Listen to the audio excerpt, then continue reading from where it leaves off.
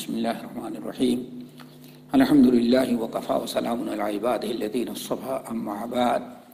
فأعوذ بالله من الشيطان الرجيم. بسم الله الرحمن الرحيم. ولنبلونكم بشيء من الخوف والجوع ونقص من الأموال والأنفس والثمرات.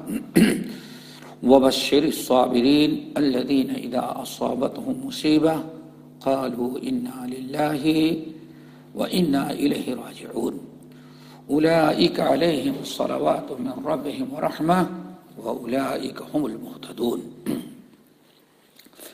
اے مسلمانوں ضرور بھی ضرور ہم تمہیں آزمائیں گے، لیکن اس آد ان آزمائش میں تمہیں کیا کرنا ہے؟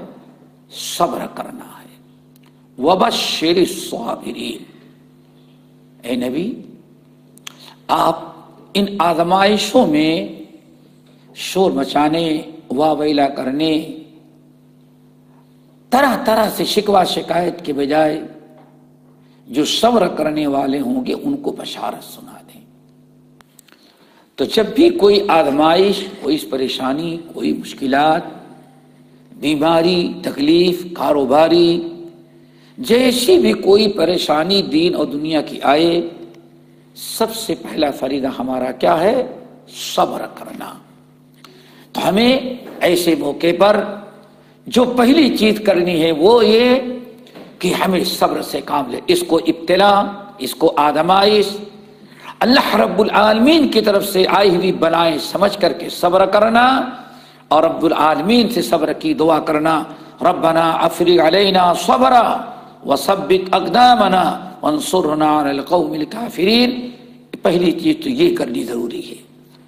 نمبر دو آج جس جن پریشانیوں میں ہم مسلمان زندگی گزار رہے پوری دنیا کے مسلمان، خوف، وحشت، پریشانیاں، ہر انسان پریشان نظر آ رہا ہے۔ حاکم محکوم سب پہلی چیز تو صبر کرنا ہے۔ نمبر دو، احتیاطی تدابیر اپنانا چاہیے۔ احتیاطی تدابیر کیسی کیسے کن کن چیزوں سے احتیاط کرنا ہے اور کن کن چیزوں کی بے احتیاطی سے یہ مرض اور بیماری پھیل سکتی ہے؟ ہماری حکومتوں نے بھرپور اس پر اسٹڈی کی ریسرچ کیا۔ ڈاکٹروں کے ذریعے اطبا کے ذریعے، ماہرین کے ذریعے تجربے کاروں کے ذریعے۔ تو دوسری چیز یہ کہ وہ ساری تدابیر اپنائیں جو تدابیر ہمیں اختیار کرنے کا حکم دیا گیا ہے۔ تیسری چیز جو بہت ہی ضروری ہے کرنا، وہ ہے دعا کرنا۔ دعا کرنا۔ تیسری چیز، ہماری ذمہ داریوں دعا کرنا۔ دعا یہ مومن کا سب سے بڑا اسلحہ، سب سے بڑا ہتھیار ہے۔ دعا کا مطلب ہوتا ہے، ہم اپنی تکلیف اپنی مصیبت، اپنی پریشانیوں کو، اپنی حادت و ضرورت کو اخلاص کے ساتھ اللہ رب العالمین سے دعا کریں کہ اللہ ہمیں اس مصیبت سے نجات دے۔ کسی کے اندر طاقت نہیں کہ دور کرے۔ احتیاطی تدبیر دعائیں تم کر سکتے ہو، کرو۔ اللہ نے حکم دیا ہے۔ لیکن دعاؤں میں بھی شفا دینے والا اللہ رب العالمین ہے۔ اس لیے ساری تدبیر، صبر و تدبیر کے ساتھ ساتھ ہم اللہ تعالیٰ کی طرف رجوع کریں۔ وہیں ہم سسک اللہ بغر فلا کا اللہ اگر آپ کو کوئی تکلیف پہنچ جائے، تو اللہ کے علاوہ کوئی تمہاری بیماری کو دور کرنے والا نہیں ہے۔ دعاؤں کا خوب اہتمام کریں۔ خصوصاً چند دعائیں، جن میں سب سے بڑی دعا اللہ کے رسول صلی اللہ علیہ وسلم نے بیان کیا۔ جو انسان صبح تین مرتبہ پڑھ لی بسم اللہ الذي لا يضر مع اسمه شيء في الارض ولا في السماء وهو السميع العليم جو انسان صبح اس دعا کو تین مرتبہ پڑھ لے گا، تو شام تک اسے کوئی چیز نہیں نقصان پہنچا سکتی۔ اور جس شخص نے شام کو مغرب کے بعد پڑھ لیا اس دعا کو، شام کو پڑھ لیا صبح تک کوئی چیز اسے نقصان نہیں پہنچا سکتی۔ دوسری بڑی اہم دعا اور ہے، آپ حضرات بھی یاد کریں۔ اور خوب کثرت سے اس دعا کو ہمیشہ پڑھا کریں۔ ان حالات میں تو بڑا اہتمام کرنا چاہیے۔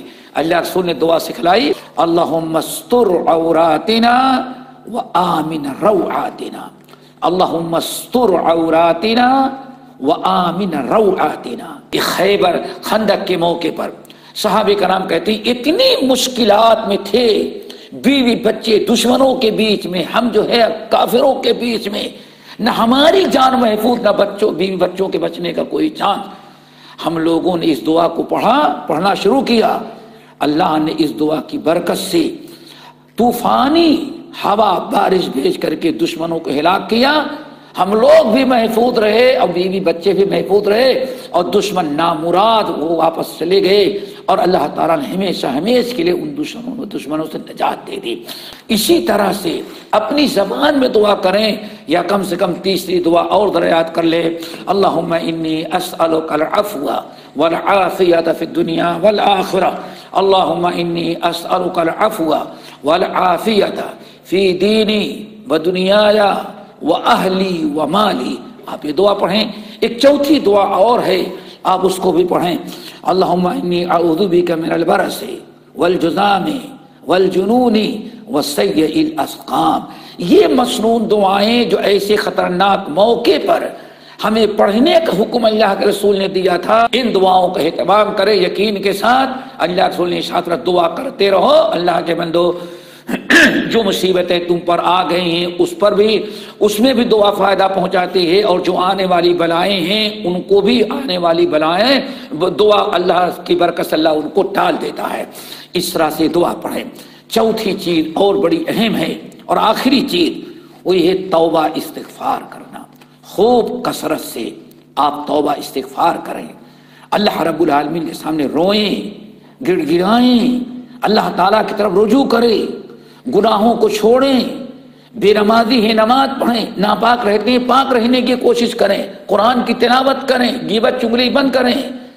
اچھی باتیں کریں، دین کی طرف لوٹ آ جائیں ممکن ہے اللہ تعالیٰ، بہت امید ہے کہ اللہ تعالیٰ مصیبت کو ٹالے گا اور آپ کو بچائے گا۔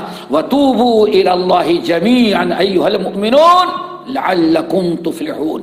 ایمان والو، تم سب کے سب چھوٹے، بڑے، امیر، غریب، مرد، عورت، عالم، جاہل خوب اپنے گناہوں کو رو پر رو، توبہ، استغفار کرو۔ اللہ تعالیٰ کی طرف رجوع کرو، توبہ کرو تاکہ اللہ تعالیٰ تمہیں کامیاب کرے۔ یہ چند باتیں ہیں، انہیں پر ہم اکتفا کرتے ہیں۔ پھر آپ حضرات سے اپیل کرتے ہیں کہ پریشانیوں کے کو کا حل جو ہے کتاب و سنت کی روشنی میں آپ اس طرح سے کریں۔ اللہ رب العالمین کی طرف رجوع کریں۔ اللہ رب العالمین کی طرف رجوع ہوں اور کثرت سے توبہ کریں۔ اور اللہ تعالیٰ سے کبھی امید ہے کہ اللہ تعالیٰ ہماری پریشانیوں کو دور کرے گا اور کثرت سے دعا، توبہ، استغفار کریں۔ اقول قولی هذا واستغفر الله من كل ذنب واتوب الیہ